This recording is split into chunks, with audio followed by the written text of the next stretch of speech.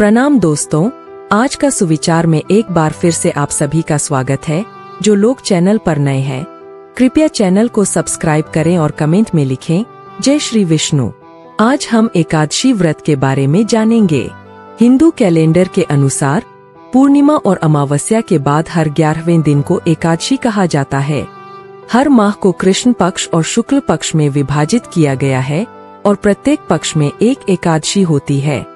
पूर्णिमा के बाद ग्यारहवें दिन को कृष्ण पक्ष की एकादशी और अमावस्या के बाद के ग्यारहवें दिन को शुक्ल पक्ष की एकादशी के रूप में जाना जाता है।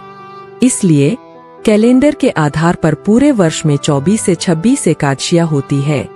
प्रत्येक एकादशी एक अलग उद्देश्य को पूरा करती है।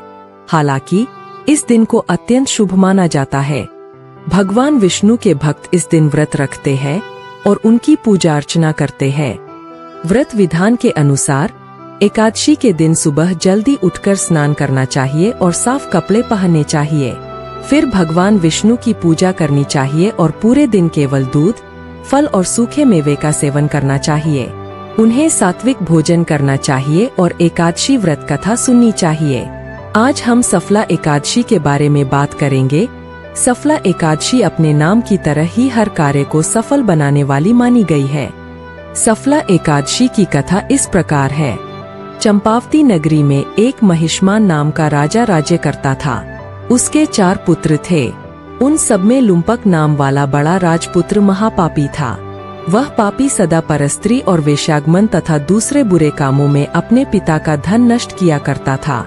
सदैव ही देवता, बाहमन, वैष्णवों की निंदा किया करता था। जब राजा को अपने बड़े पुत्र के ऐसे कुकर्मों का पता चला तो उन्होंने उसे अपने राज्य से निकाल दिया।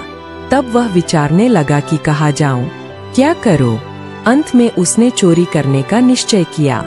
दिन में वह वन में रहता और रात्रि को अपने पिता की नगरी में चोरी करता तथा प्रजा को तंग करने और उन्हें मारने का कुकर्म करता। कुछ समय पश्चात सारी नगरी भयभीत हो गई।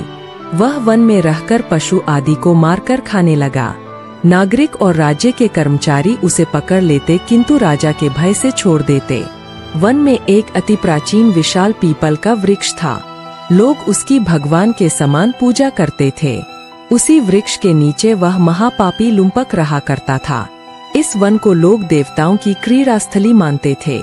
कुछ समय पश्चात पौष कृष्ण पक्ष की दशमी के दिन वह वस्त्रहीन होने के कारण शीत के चलते सारी रात्रि सो नहीं सका। उसके हाथ पैर अकर गए।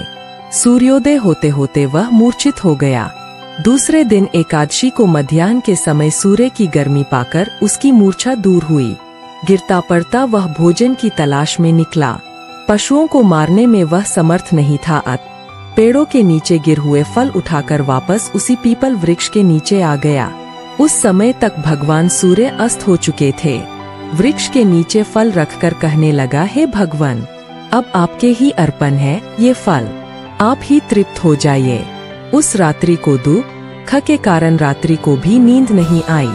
उसके इस उपवास और जागरण से भगवान अत्यंत प्रसन्न हो गए और उसके सारे पाप नष्ट हो गए। दूसरे दिन प्रात, एक अति सुंदर घोड़ा अनेक सुंदर वस्तुओं से सजा हुआ उसके सामने आकर खड़ा हो गया। उसी समय आकाशवाणी हुई कि हे राजपुत्र श्री नारायण की कृपा से तेरे पाप नष्ट हो गए हैं। अब तू अपने पिता के पास जाकर राज्य प्राप्त कर। ऐसी वाणी सुनकर वह अत्यंत प्रसन्न हुआ और दिव्य वस्त्र धारण करके भगवान आपकी जय हो, कहकर अपने पिता के पास गया।